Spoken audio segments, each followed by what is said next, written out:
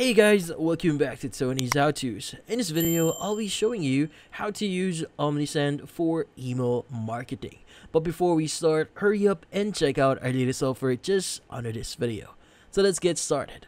So you might be looking for a tool that you could use for email marketing. So email marketing is a great way for you to promote your business or your campaign or your purpose. Now in this case, what we need to do first is we need to access Omnisend here. In this case, that's going to be omnisend.com. Now from here you might be wondering, can you use Omnisend for free? Well, in this case, you could use Omnisend here and start it for free. But there are going to be some pricing tiers they need to consider first. Now, on their official website, go ahead and click on the pricing at the top section of your screen. And from here, you should be able to see the available pricing that they have right now. Now, currently, they have the Pro version here, which is around $59 a month. Standard is going to be $16 a month. And the free version here, which is the best for starting businesses and exploring Omnisend, which in this case is going to be free or $0 for a month.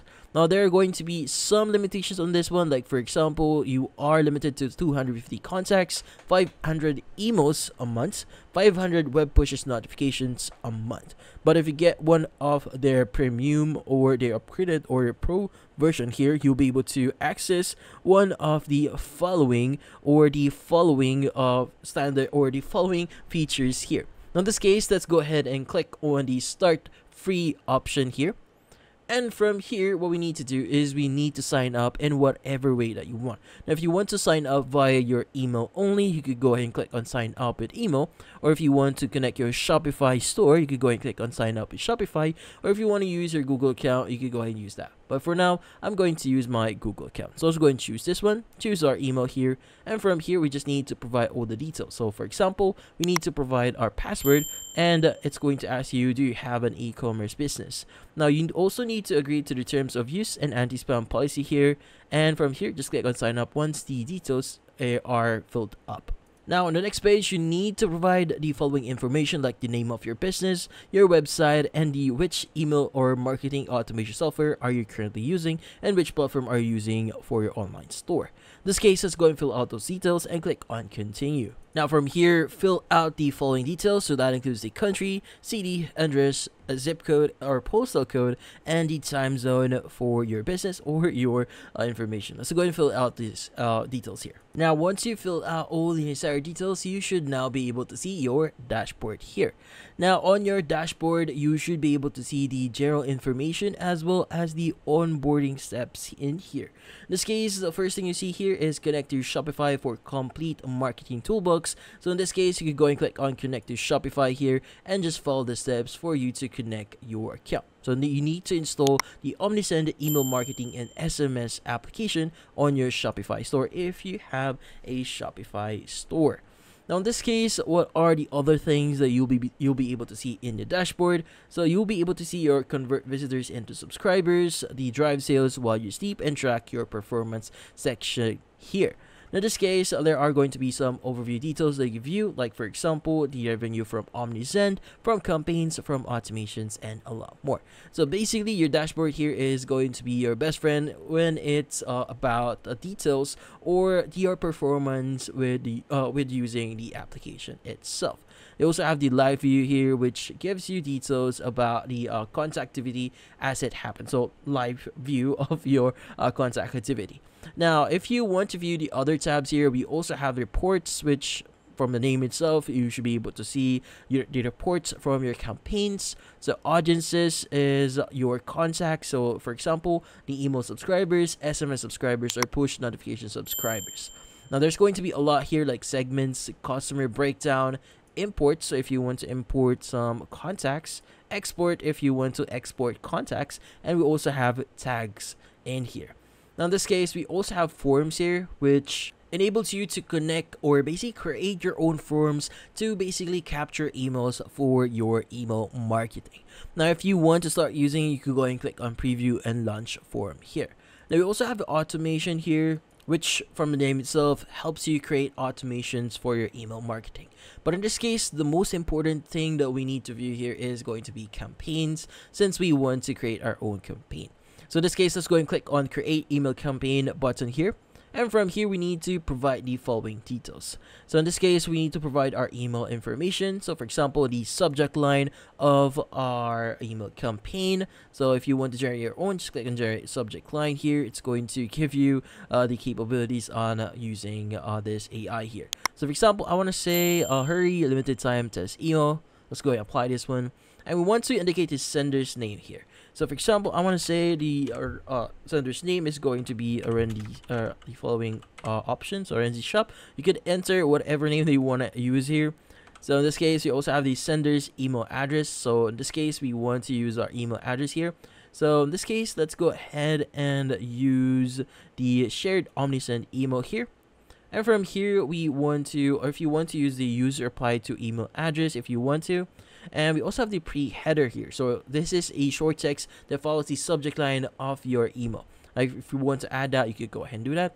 We also have the campaign name here. So for example, I just want to say this is going to be a test campaign, but you could basically name this to anything that you want.